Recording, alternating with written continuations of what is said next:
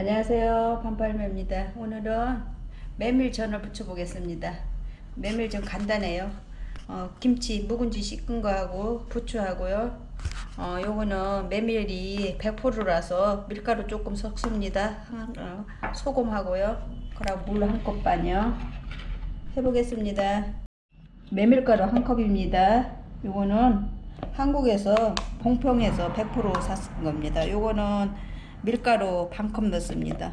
메밀가루만 하면은 요거는 표고 우린물이 있어서 반컵 썼습니다. 요건 동량 넣으면 됩니다. 한 컵 반. 한 컵 반 동량 넣어가지고 안 풀으면은 풀어갖고 냉장고다 서너 시간 나눴다 붙여야 차지고 맛있습니다.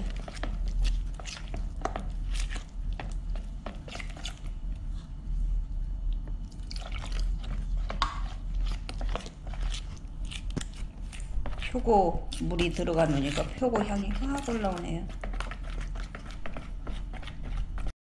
소금 조금 넣겠습니다. 많이 안 넣고.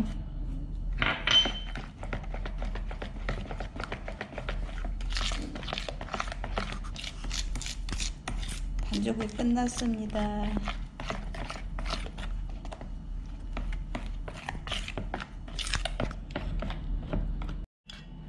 어, 반죽이 다 됐습니다. 반죽이 이렇게 잘 돼가지고 어, 양념간장 해놓고요. 부쳐봅시다.